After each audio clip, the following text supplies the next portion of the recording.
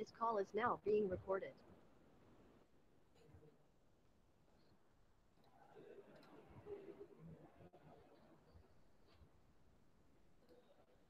Good morning, everyone. Our today's lecture is on the your syllab uh, your subject name is emerging trends in electrical engineering. It has a subject code of double two six twenty eight. Then emerging trend in electrical engineering. This uh, this subject is totally based on your online pattern. हा जो काही subject आहे याची जी exam आहे. बघा इथे पेपरचं स्कीमचं डिस्ट्रीब्युशन दिलंय.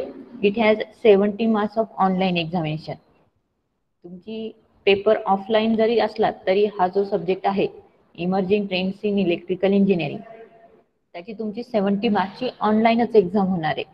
Then it has a thirty marks for T H P A that is unit test 1 and unit test 2 plus micro project.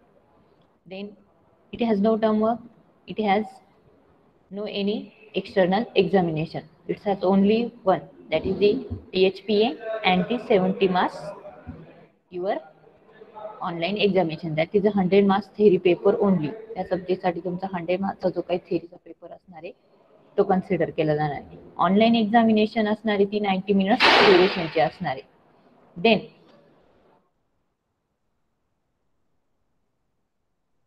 it has total five number of unit. Out of that first one is the digitization behind the automation. Digitization means what? Total जे काही internet रिलेटेडचे जे काही principles असतात related to our electrical engineering तो part सगळा सिलेबसमध्ये cover केलेला आहे. For example first industrial revolution version number one point zero two point zero three point zero four point zero industry zero असा एक न्यूली टॉपिक आहे. ज्याच्यामध्ये आपल्याला बघायचं असतं की डिजिटायझेशनचे कुठले ॲडव्हान्टेजेस झालेले. Then component of industrial revolution four म्हणजे इंडस्ट्री फोर पॉईंट झिरो हा इम्पॉर्टंट टॉपिक आहे. याच्यावरती most of M C Q तुम्हाला पेपरला विचारले जातील in that C P S that is a cyber phys physical system I O T internet of things cloud computing and cloud manufacturing हे जे काही पॉईंट्स आहे ते रिलेटेड टू टू ऑनलाईन एक्झामिनेशनला याच्यावरती तुम्हाला एमसीक्यू विचारले जातील then third one is the I O T principle and features I O T means internet of things internet of थिंग्सचे principle and its features हे तो पेपरला याच्यावरती एमसीक्यू विचारले जातात then next one part that is one point four is related to our electrical engineering I O T application area in electrical system म्हणजे internet things जे online system G M C M S C बीमध्ये implement केली जाते that is the SCADA system. That is the SCADA system, smart metering, illumination system, that is the public lighting, म्हणजे आपले street lightning त्या केसमध्ये जे digital म्हणजे monitoring असतं रिमोट प्लेसवरनं मॉनिटरिंग करणे वगैरे. त्या केसमध्ये आपल्याला आय ओ टीचं ॲप्लिकेशन कुठे आहे त्या एरियामध्ये तो पार्ट इथे स्टडीसाठी येतो. स्काडा मीन्स काय? Supervisory control and data acquisition SCADA system आहे एक एक मॉनिटर असतो. सेंट्रल प्लेसला लोकेट केलेला असतो आणि तिथपासून मग तुमची ओव्हरऑल जी काही सिस्टीम आहे ट्रान्समिशन डिस्ट्रीब्युशन जनरेशनची ती मॉनिटर केली जाते. त्या केसमध्ये आपण स्टाडा सिस्टीम ही एम एस सी बीचं जे काही ऑफिस असतं तिथे इम्प्लिमेंट केले असते. मग त्यावरती तुम्हाला एम सी क्यू विचारले जातात. Then I O T initiative in power distribution system same like that आहे. इथे मी जो तुम्हाला पॉईंट सांगितला SCADA for that same principle one point फाईव्हमध्ये but it is only related for your distribution system distribution system generally जास्त preferable आहे because it is related to your consumer side consumer side हा distributed system distribution सिस्टीमच्या एरियामध्ये consider केला जातो. त्यामुळे तिथे I ओ टीचे काही इनिशिएटिव्ह आहे त्या पॉवर सिस्टीममध्ये त्याच्यावर एम सी क्यू असतात. मग it consist of mobile apps geo ordinate of the network as well as the consumer premises व्हेरिटर digital services platform for the consumer. मग या पार्टमध्ये कुठला पार्ट इन्क्लूड होतो जे तुम्ही प्रोजेक्ट करता की through the mobile through lights off and on हे जे प्रोजेक्ट असतात ते हे या पार्टमध्ये इन्क्लूड होतात. रिमोट प्लेसवरनं तुमचे total light fan induction motor ह्या ऑफ केल्या जातात. किंवा एम एस सी बीचे कुठले काही पॅरामीटर असतात की जे सॉफ्टवेअर थ्रू ऑपरेट केले जातात तो पार्ट या इथे सिस्टीममध्ये इथे इन्क्लुडेड आहे. That is the IoT initiatives in power distribution system. Then our unit number second is the smart grid. It is the most important part and nowadays it is a very important part regarding your distribution system as well as transmission system as well as generation system. Smart gridचा जो काही part आहे smart grid means what interconnected power system एक substation दुसऱ्या सबस्टेशनला connected आहे first ट्रान्समिशनची जे काही सिस्टीम आहे ती सेकंड ट्रान्स दुसऱ्या एरियामध्ये कुठेतरी कनेक्टेड आहे. म्हणजे इंटरकनेक्टेड ज्यावेळेस सिस्टीम असते त्यावेळेस ती ग्रीड म्हणून आपण कन्सिडर करतो. ग्रीड मीन्स वॉट दोन कंपोनंट कनेक्टेड आहे. कंपोनंट मीन्स आपण इथं सिस्टीमच घेऊ डिस्ट्रीब्युशन सिस्टीम सपोज तुमचं बाबळेश्वरचे सबस्टेशन आहे. आणि दुसरं एखादं सपोज चंद्रपूरचं सबस्टेशन घेतलं ते जर दोघांना एकमेकांना कनेक्टेड असले तर this considered as a grid system म्हणजे ज्या फिडर थ्रू किंवा ज्या लाईन्स थ्रू ते सिस्टीम एकमेकाला कनेक्टेड असते तर त्याला कॉमनली वर्ड यूज केला जातो ग्रीड आणि स्मार्ट ग्रीड मीन्स काय? तर ती ग्रीडची जी सिस्टीम आहे तिथे काहीतरी स्मार्ट अप्लायन्सेस यूज करणार. फॉर एक्झाम्पल स्मार्ट मीटरिंग म्हणजे जे काही मीटरिंग आहे जिथं इलेक्ट्रिसिटी मेजर करायची आहे तर तिथे कुठेतरी तुमचं स्मार्ट मीटर इन्स्टॉल असेल. देन स्काडा सिस्टीम इम्प्लिमेंटेड असेल त्या एरियामध्ये this one considered as a smart grid smart word कधी येणार आहे? ज्या वेळेस तुम्ही न्यूली इम्प्लिमेंटेड थिंग्स ऍप्लिकेबल करणार. फॉर एक्झाम्पल तुमचा smart meters then net net metering हे ज्या वेळेस ज्या सिस्टीममध्ये इन्क्लूड असतील त्याला आपण स्मार्ट ग्रीड म्हणणार. मग it consist of first part need and solution that is the layout smart grid means काय कन्सेप्ट आहे? त्याचा लेआउट तुम्हाला स्टडी करायचा इथे. देन इट्स नीड स्मार्ट ग्रीडची नीड काय? जर in general transmission line connected असता पॉवर ट्रान्समिट होते पण कुठले ऍडव्हान्टेजेस आहेत स्मार्ट ग्रीड इम्प्लिमेंट करण्याचे आणि कुठले ड्रॉबॅक आहे हे कन्व्हेशनल सिस्टीममध्ये? ते इथे स्टडी करायचे.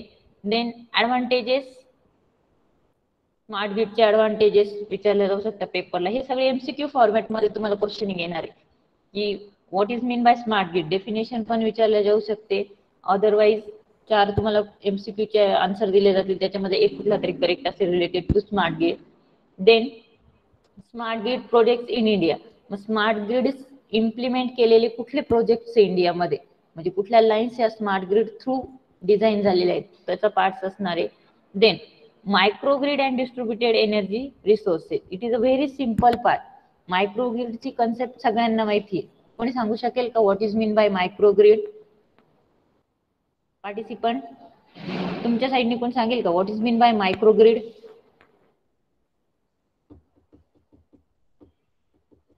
most of student project पण मायक्रोग्रीडचे घेऊन आलेले होते. तर कोणाला आयडिया असेल तर सांगा. What is mean by microgrid microgrid and distributed energy sources is this correlated part to each other DG system मी याच्या आधी पण तुम्हाला एकदा हा पार्ट एक्सप्लेन केलेला आहे. What is mean by DG system and microgrid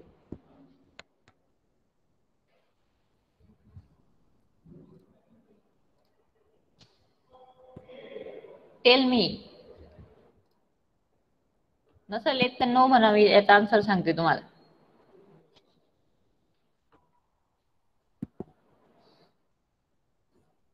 reply करा पार्टिसिपंट नाही माहीत नाही ओके ठीक आहे listen microwave means from MSCB to consumer एक लाईनने आपल्याला पॉवर येते. ती एक सिंगल लाईन कन्सिडर केली that is the MSCB then in addition to that कंझ्युमरची जी पॉवरची रिलायबिलिटी ती मेंटेन राहावी. त्याच्यासाठी थ्रू दी सोलर और थ्रू दी इन्व्हर्टर और जनरेटर सेम पॉवर ह्या परत कन्झ्युमरला प्रोव्हाइड केलेली असते. Suppose there is a one consumer मी ते तुम्हाला एक एक्झाम्पल बोर्डवरती सॉल्व्ह करून दाखवते.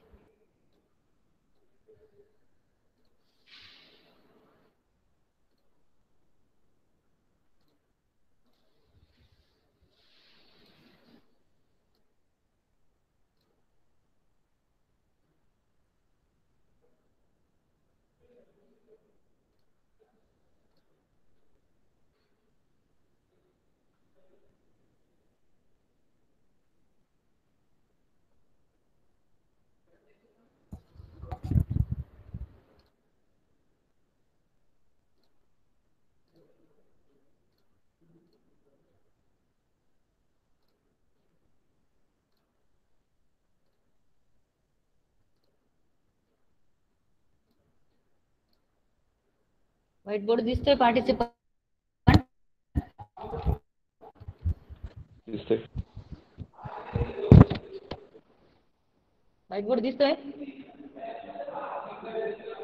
येस हो पण रिप्लाय करा. व्हाईट बोर्ड दिसतोय. Okay smart gate is nothing but इथे लक्ष द्या आता मी तिथे समजून सांगते. This one is the your generating station that is the G suppose the generating station घेतलंय. And this generating station is directly connected to your consumer. This one is the first grid or first line. Consumer denoted by c. Generating station is directly connected to your consumer through a your network. That is the transmission distribution. In addition to that that is the generating station and consumer. One more supply is connected. That is the from the generator. This one is the generator. This generator is again connected to consumer. This one is the second supply. Again, third one is the your inverter source. That is the battery or other. Secondly, again connected to your consumer. And third one is the power generated from the solar.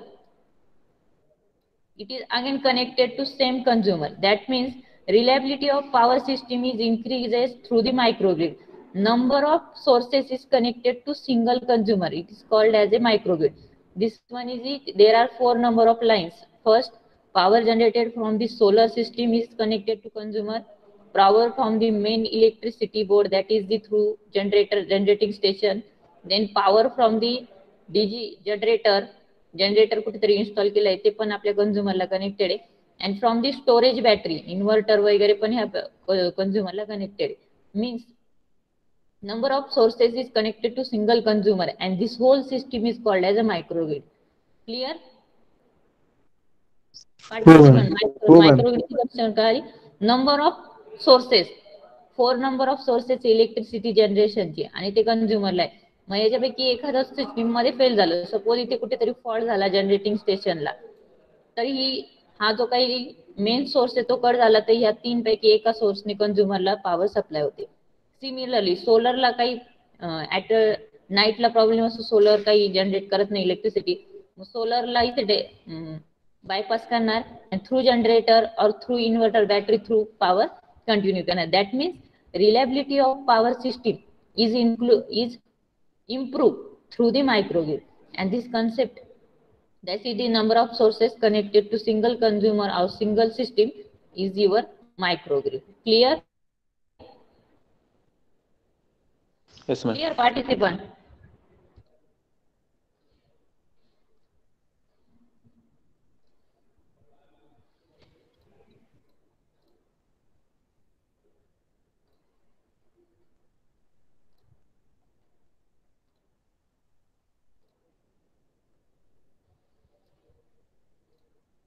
Then our next topic is the distributed energy sources. Distributed energy sources is firstly the wind power system, second one the solar power, then generator.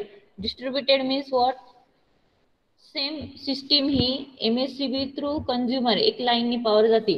But त्याच्या in addition एक supplementary जी काही आपण power use करतो through the solar और through the wind turbine और through the generator is called as a distributed energy resources resources name दिलेले. That means it has number of resources solar through power generate झालेली आहे wind through power generate झालेली आहे आणि diesel generator आपण use केलं तर डिझेल जनरेटर फ्युएल यूज होऊन पॉवर जनरेट होईल. म्हणून त्याला काय नेम दिलेले as a distributed energy resources मग या टू पॉईंट टू मध्ये मायक्रोग्रिडची कन्सेप्ट काय आहे? त्याचे एमसीक्यू असतील. And second one power generated from the distributed energy sources then distributed generation system and distribution generation technology. The- which are the technologies? मग त्या सगळ्या इथे आपल्याला या चॅप्टरमध्ये स्टडी करायचे then two point three next point for the chapter number second is the smart substation smart word जिथे पण येणार आहे स्मार्ट वर्डचा मिनिंगच असा आहे की तिथे न्यूली इम्प्लिमेंटेड टेक्नॉलॉजी जिथे असणार आहे ते स्मार्टमध्ये कन्सिडर रेग्युलर सबस्टेशन आहे आपले. त्या जिथे ऑनलाईन मॉनिटरिंगसाठी स्काडा सिस्टीम इम्प्लिमेंटेड नाहीये किंवा नेट मीटरिंग वगैरे असे पॅरामीटर इम्प्लिमेंटेड नाहीये तर ते कन्व्हेशनल सबस्टेशन म्हणून ऍक्ट होणार. But in the smart substation smart substation include is the PLC system SCADA system net metering then the your smart meters हे जिथे जिथे इम्प्लिमेंटेड असणार. आहे मग तो जो सबस्टेशनचा एरिया आहे तो it considered as a smart substation then smart सबस्टेशनची need काय आहे? Then layout and component which component is install in that substation the layout of that substation then typical specification of existing substation मग असे वेगळे कुठले त्याचे specification आहे का? जे रेग्युलर कन्व्हेन्शनल सबस्टेशनमध्ये नसतात. ते सगळे आपल्याला ह्या चॅप्टरमध्ये स्टडी करायचे. Then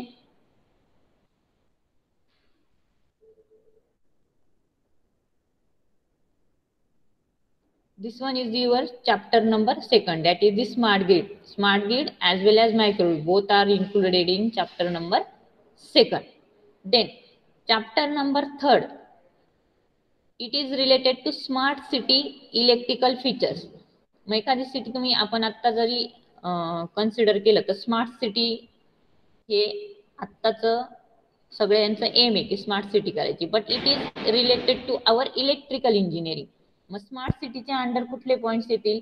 जे तुमचे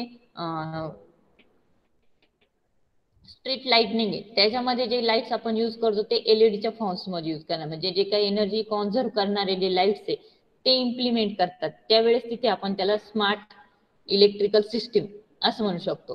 तर याच्यामध्ये आपल्याला सगळे पाच स्टडी करायचे. First one smart city related to your electrical features first one is component कुठले कंपोनंट आपण स्मार्ट सिटीच्या अंडर कन्सिडर करणार?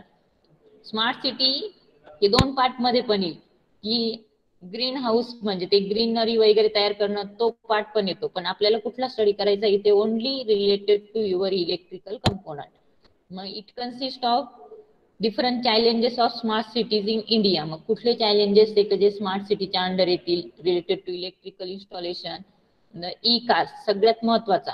Electric vehicles. इलेक्ट्रिकल व्हेकल ज्या केसमध्ये सगळ्या सिटीमध्ये यूज केले जाते त्यावेळेस त्या सिटीला आपण म्हणू शकतो की it is totally smart city. मग ई कार म्हणजे काय? रोल ऑफ इलेक्ट्रिकल व्हेकल्स काय?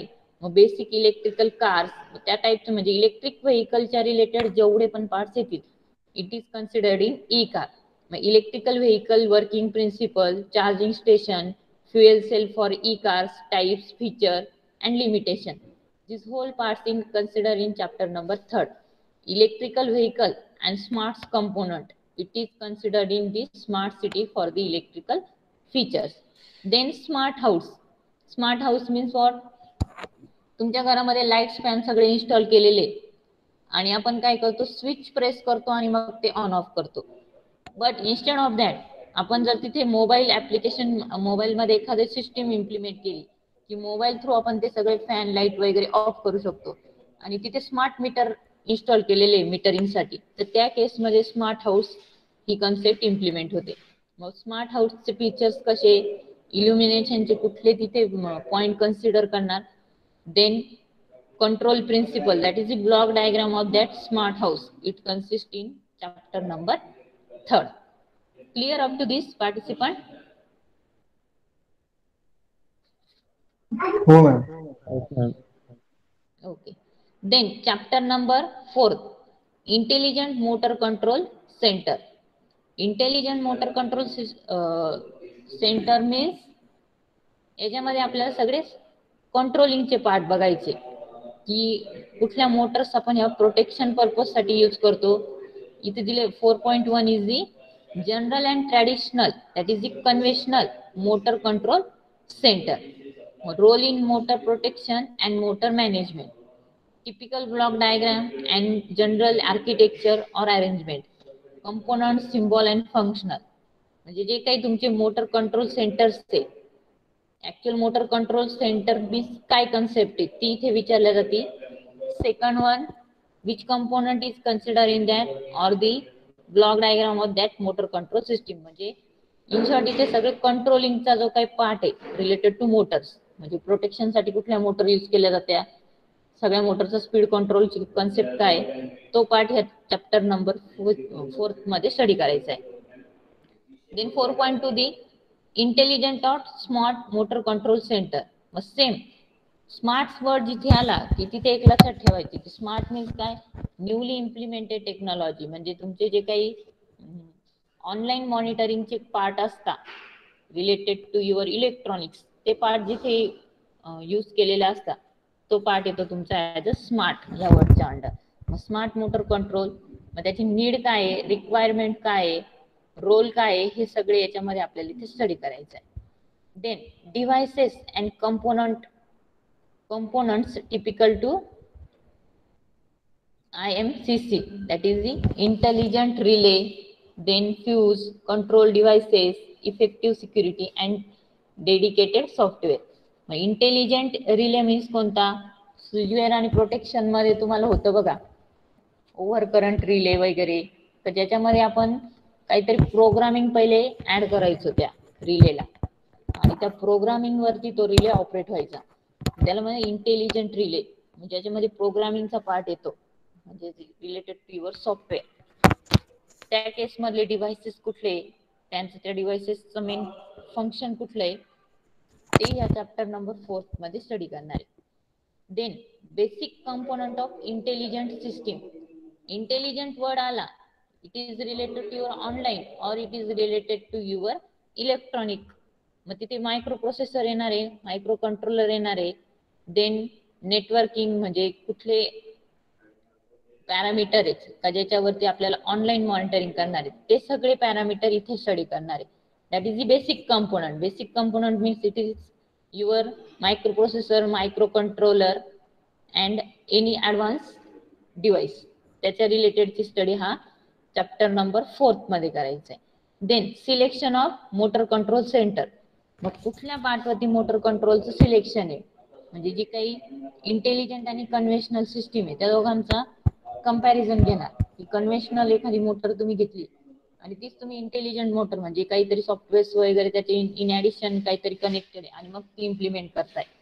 Then it is included in the selection of motor control centre this one is the chapter number four motor control centre means सगळे selection of motor आणि त्याच्या रिलेटेडचे speed control और relay हे सगळे जे कंट्रोलिंगचे devices आहे हा चॅप्टर नंबर फोर्थचा आपल्याला स्टडी करायचा आहे. म्हणजे न्यूली टेक्निक्स कुठल्या इम्प्लिमेंट झालेल्या आहेत इलेक्ट्रिकल इंजिनिअरिंगमध्ये. त्याच्या रिलेटेडचा ओव्हरऑल जो पार्ट आहे तो सगळा तुमचा या emerging trends in electrical engineering याच्यामध्ये तुम्हाला स्टडी करायचा आहे. देन मॅम स्टुडंट्स वेटिंगला आहे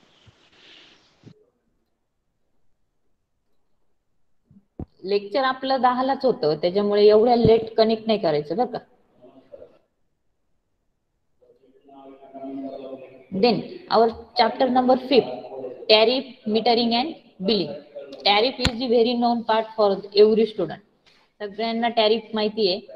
बट टॅरिफचे पण आता तू इथं रिलेटेड टू स्मार्ट या पार्टशी आपल्याला टॅरिफला कंपेअर करायचंय. मग power purchase power purchase agreements power purchase cost हे टॅरिफच्या रिलेटेड जे जे काही ऍडव्हान्स पॅरामीटर आहे आपण टॅरिफ आतापर्यंत काय बघितलेली आहे the rate at which electricity provided to consumer he simple आपल्याला फक्त डेफिनेशन माहिती आहे त्याचे टाईप्स माहिती आहे.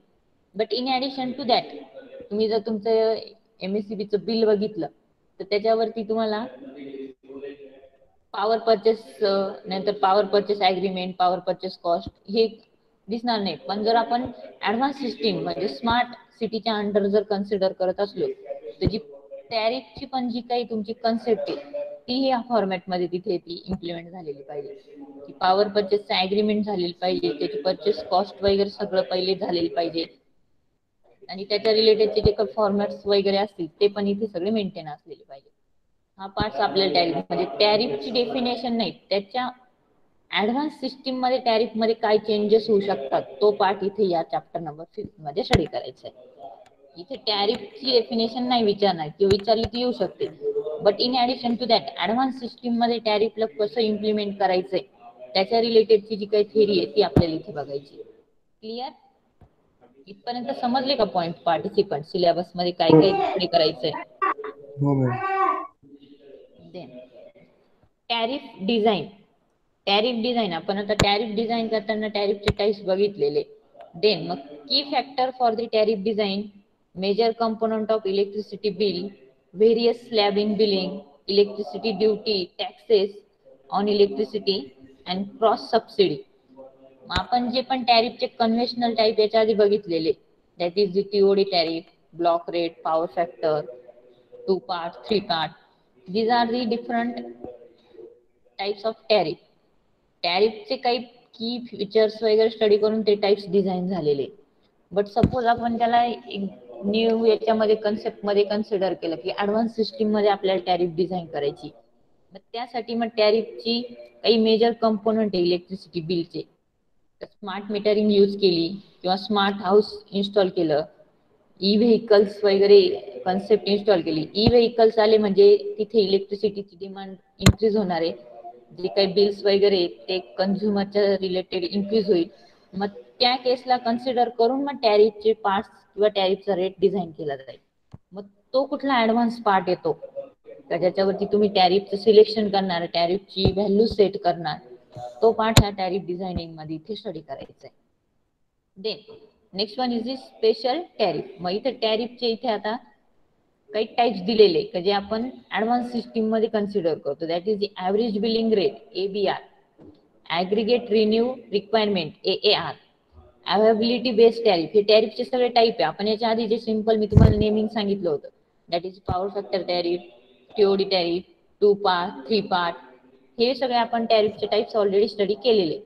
But this part is not included in your special tariff त्याच्यामध्ये कुठले टाइप्स येत आहेत special tariff average billing rate ABR aggregated renew requirement A A R A R R availability based tariff ABT time of day tariff बघा time of day tariff हा दोन्ही पार्टमध्ये consider केलेला आहे. स्पेशल टॅरिफमध्ये पण तो इन्क्लुडेड झालेला आहे. रिसेंट टीओडी स्ट्रक्चर हे सगळे पार्ट आपल्याला स्पेशल टॅरिफमध्ये कन्सिडर करायचे. स्पेशल टॅरिफ ह्या कन्व्हेशनल टॅरिफपासून वेगळा का कन्सिडर केला आहे? बिकॉज जे काही इथे आपण वरती टॅरिफ डिझाईन करण्याचे जे रिलेटेड टू स्मार्ट मीटरिंग किंवा स्मार्ट डिव्हाइसेस यूज केल्यानंतर टॅरिफचा रेट चेंज होणार आहे. तो कन्सिडर करून इथे स्पेशल टॅरिफच्या अंडर इथे चेंजेस इम्प्लिमेंट होतील. Then next one is the kVA tariff kVAh म्हणजे काय तुमचा? किलो होल्ट म्हणजे रिलेटेड टू तुमची जी काही केव्हीए ची पॉवर आहे म्हणजे एनर्जीचं बिल आहे त्याच्या अकॉर्डिंगली इथे एच टी आणि एल टी कन्झ्युमर डिस्टिंग्विश होणार आणि मग तुमचं बिलिंग होणार. Billing methods for H T आणि L T consumer then kVAh metering methodology kVAh base billing calculation म्हणजे तुमची किलो किलो अँपियर हवर्स म्हणजे तुमची जी काही याची इलेक्ट्रिसिटी असते ती same electricity but for the H T consumer and L T consumer जे हाय पॉवर कन्झम्पन वाले एस टी मध्ये कन्झ्युमर होता that is the industrial part हा एस टी कन्झ्युमरच्या अंडर येतो. आणि एल टी कन्झ्युमरचा पार्ट हा तुमचा जे काही स्मॉल स्केल तुमची इंडस्ट्री असेल किंवा मग तुमचे रिलेटेड टू हाऊस वगैरे त्या रिलेटेडचे कन्झ्युमर एल टी कन्झ्युमर म्हणून ऍक्ट होतात. मग त्यांचं बिलिंगचं कॅल्क्युलेशन बिलिंगचं कॅल्क्युलेशन एस टी कन्झ्युमरला यापैकी कुठली टॅरिफ इम्प्लिमेंट करायची? आणि एल टी कुठली टॅरिफ इम्प्लिमेंट करायची? हा सगळा स्टडी या चॅप्टर नंबर फिफ्थमध्ये असणार आहे. Then metering and bill management net metering net metering means काय? एम एस सी बी ला पण तुमचे काही मीटर जे काही युनिट असतात ते ऑटोमॅटिकली सेंड होणार. म्हणजे जिथे तुमच्या घरामध्ये आता करंटली एखादा एम एस सी माणूस येतो तो रिडिंग नोट करतो. आणि मग एम एस सी बीचे जे काही ऑफिस आहे तिथनं बिल आपल्याला जनरेट होणार. तसं न होता नेट मीटर जर इन्स्टॉल केलेला असेल तर ऑटोमॅटिकली जो काही तो जिथे जो चेअरपर्सन असेल एम एस सी बीचा मेन त्याच्या सॉफ्टवेअरला डायरेक्टली तुमच्या मीटरची रिडिंगची कॅरी केली जाते. मग ते नेट मीटरिंगमध्ये असतं. म्हणजे रिअल टाइम मॉनिटरिंग हा जो पार्ट असतो तो नेट मीटरिंगच्या अंडर कन्सिडर होतो. Then cross metering cross metering means what some consumers असे असतात की जे इलेक्ट्रिसिटी जनरेट करतात. काही काही यांच्यामध्ये असं असतं की जे सोलरचा प्लांट इन्स्टॉल करतात. ज्या वेळेस स्वतःला गरज असते त्यावेळेस ते तिथे ते इलेक्ट्रिसिटी म्हणजे युटिलाइज करतात. आणि एक्सेस जर जनरेशन झालं इलेक्ट्रिसिटीचं तर ते एम एस सी बीला फीडबॅक करतात. मग त्या केसमध्ये काय होतं? क्रॉस मीटरिंगची पण सिस्टीम इम्प्लिमेंट व्हायला पाहिजे. तर किती एमएससीबीला आपण पॉवर दिलेली मग तेवढी जी काही त्यांची कॉस्ट आहे ती आपल्याला भेटली पाहिजे. म्हणजे इलेक्ट्रिसिटीचं आपलं कन्झम्पन सोडून त्यांना दिलेली एक्स्ट्राची जी काही पॉवर आहे ती त्यातनं मायनस व्हायला पाहिजे. मग त्यावेळेस क्रॉस मीटरिंग ही कन्सेप्ट तिथे इम्प्लिमेंट केली जाते. Then M E R C rules and net metering bills म्हणजे इथं ऍक्ट आहे रेग्युलेशन टू थाउजंड फिफ्टीनचा त्या ऍक्टच्या अंडर इथे तुम्हाला ते रुल्स बघायला मिळतील आणि नेट बिल मीटरिंग बिलची पण कन्सेप्ट स्टडी करायला पाहिजे then application of net metering for the integration of micro generation with grid system. मग नेट मिटरिंगची मी तुम्हाला जी कन्सेप्ट सांगितली का रिअल टाइम मॉनिटरिंग ही मायक्रो ग्रीडच्या कन्सेप्टमध्ये. म्हणजे मायक्रो ग्रीडला micro ग्रीडला number of four sources connected आहे. सोलर विंड स्वतः इलेक्ट्रिसिटीचा म्हणजे एमएससीबी कडनं आलेला आणि बॅटरीचा मग एखाद्या केसमध्ये सपोज एमएससीबीचा सप्लाय फेल झाला आणि त्यांना रिक्वायरमेंट आहे दुसऱ्या ठिकाणी पॉवर देण्याची. तर जी excess amount of power generate झालेली असते आपले कन्झ्युमरच्या साईडला ती आपण ग्रीड सिस्टीम थ्रू एमएससीबीला प्रोव्हाइड करतो आणि मग तिथे आपल्याला नेट मीटरिंग ही कन्सेप्ट मायक्रो ग्रीडला इम्प्लिमेंट करता येते.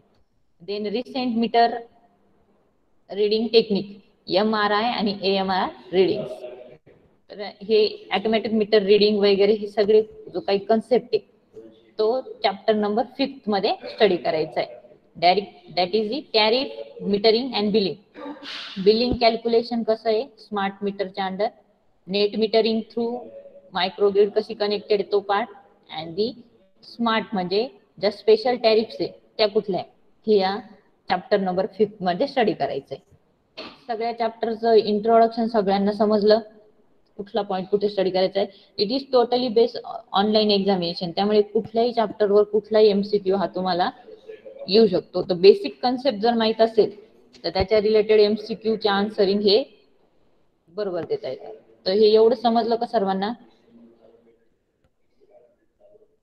समजलं का. स्टुडंट ओके तर बघा इथे आता मार्कांचं डिस्ट्रीब्युशन आहे. First digitization behind the automation बेसिकचं chapter आहे that's why it's marks it for only eight marks आठ मार्क्ससाठी तुम्हाला इथे एमसीक्यू या चॅप्टरला चॅप्टर नंबर फर्स्टला विचारलं जाईल. Because it is only based on I O T म्हणजे इंटरनेट ऑफ थिंग्स याच्यावरती चॅप्टर बेस आहे आणि it is somewhat related to your computer part म्हणजे कम्प्युटर रिलेटेडचे क्लाउड कम्प्युटिंग वगैरे जे काही कन्सेप्ट असते तो चॅप्टर नंबर फर्स्टमध्ये म्हणून त्याचं वॅटेज थोडं कमी दिले. देन स्मार्ट ग्रीड ट्वेल्व मार्क्ससाठी विचारलं गेणार it is purely electrical topic that's why its weightage is more it is twelve again smart city smart city मध्ये तीन पार्टमध्ये डिवायडेशन होतं. Smart house E vehicles and next one is the only concept of that smart city त्याच्यासाठी त्याचं weightage किती दिलंय? Sixteen marks आहे. Then intelligent motor control center सगळ्यात जास्त मार्काचा चॅप्टर आहे की त्याच्यामध्ये मोटर रिलेटेडचा कुठलाही क्वेश्चन येऊ शकतो. किंवा मोटरच्या कंट्रोलिंगच्या ज्या काही सेंटरच्या सिस्टीम आहे. ते इथे eighteen मार्क्ससाठी this chapter is ask for your eighteen marks then last chapter is carry metering and billing is for sixteen marks approximately chapter number second to fifth related to your electrical that's why strategy is more as compared to chapter number one and total marks for the syllabus is the seventy marks seventy मार्क्सची online examination असणार आहे thirty marks तुमचा जो काही असणार theory T H P आहे आणि included also included आहे micro project तर ओव्हरऑल सिलेबसचं सगळ्यांना इंट्रोडक्शन समजलं का? हो मॅम ओके इथे बघा मी मायक्रो प्रोजेक्टचे काही टॉपिक्स इथे तुम्हाला एक एक आयडिया म्हणून सांगते. आता मायक्रो प्रोजेक्ट तुम्हाला चॉईस पण करायची आहे. Prepare report on existing automation in an industry and suggest the improvement एखादी इंडस्ट्री आहे त्याच्यामध्ये ऑटोमेशन आहे but related to electrical automation मग ती एखादी इंडस्ट्रीला तुम्ही एक्झिस्टिंग ऑटोमेशन काय? आणि त्याच्यामध्ये तुमच्या इम्प्रुव्हमेंटचे काही सजेशन असतील म्हणजे थ्रू दी स्मार्ट मीटरिंग तर त्याच्यावरती तुमचा मायक्रो प्रोजेक्ट असणार आहे. Then prepare a report on smart grid smart ग्रीडची काय कन्सेप्ट आहे? त्याच्यावरती तुम्ही रिपोर्ट तयार करू शकता. Then prepare a report on any four electrical appliances in the smart cities smart city suppose implement होते. स्मार्ट सिटी इम्प्लिमेंट करताना कुठले डिव्हायसेस यूज केल्यानंतर ती स्मार्ट सिटी म्हणून कन्सिडर होईल. तर फर्स्ट तुम्ही काय कन्सिडर करा जी स्ट्रीट लाईटनिंग आहे. स्ट्रीट लाइटनिंगमध्ये जर तुम्ही एलईडी इन्स्टॉल केले करंट पोझिशनला पहिले मर्क्युरी वेपर सोडियम वेपर हे स्ट्रीट लाइटनिंगसाठी यूज व्हायचे. बरं नाव आता कुठले इम्प्लिमेंट होत आहे एलईडी इम्प्लिमेंट होत आहे त्या केसमध्ये तो पण कसला स्मार्ट डिव्हाइस म्हणून ऍक्ट होईल. किंवा तुम्ही नेट मीटर इन्स्टॉल केले तर तो सेकंड असे नंबर ऑफ इलेक्ट्रिकल अप्लायन्सेस हे स्मार्ट सिटीच्या अंडर कुठले यूज केलेले त्याच्यावर तुम्हाला एक रिपोर्ट लिहायचा आहे. Then power point presentation on I M C C motor intelligent motor control centers हे जे आहेत याच्यावरती तुम्ही म्हणजे रिपोर्ट करू शकता. A MRI R techniques in the smart metering ते रिलेटेड टू म्हणजे जे तुम्ही सिलेबसमध्ये स्टडी करणार आहेत त्याच्यावरतीच तुम्हाला सर्वे करायचा आहे किंवा रिपोर्ट तयार करायचा आहे. हे सगळे अशा टाईपचे तुम्ही मायक्रो प्रोजेक्ट घेऊ शकता. तर सेम असे मायक्रो प्रोजेक्ट तुमच्या साईडने दुसऱ्या एखाद्या टॉपिक वरती पण तुम्हाला करायचं असेल तर त्याची लिस्ट तुम्ही मला ही दोन तीन दिवसामध्ये देऊ शकता. आणि याच्यासाठी जर तुम्हाला हेल्प घ्यायची असेल तर इथे बुक्सचे टायटल दिलेले बघा. या कुठल्याही बुक्सची तुम्ही हेल्प घेऊ शकता. याच्यामध्ये सगळा सिलेबस इथे कव्हर केलेला आहे. Fundamental of smart grid smart गिलचे तीन चार हे दिलेले बुक्स दिलेले. डिफरंट डिफरंट ऑथरचे देन देन इलेक्ट्रिकल मशीन म्हणजे जो काही मोटर कंट्रोलचा जो काही सिलेबस आहे तो ह्या ह्याच्या बुक्समध्ये तुम्हाला बघायला भेटेल. Control of electrical motors then motor control system again हे जे चॅप्टर आहे बुक्स आहे. Handbooks of electrical motor control system याच्यामध्ये सगळा जो काही चॅप्टर नंबर फोर्थचा पार्ट आहे तो कव्हर केलेला आहे. Then motor drive it is again related to your chapter number fourth आणि चॅप्टर नंबर फिफ्थ लास्ट जे आहे art of reading electricity bill ह्याच्यामध्ये तुम्हाला बिलिंग टॅरिफ आणि नेट मीटरिंगचा जो काही पार्ट आहे तो इथे या बुक्समध्ये बघायला भेटेल. तर काही कोणाला या सब्जेक्ट रिलेटेड आता सगळ्यांना कळालं असेल काही क्युरी असेल तर विचारा.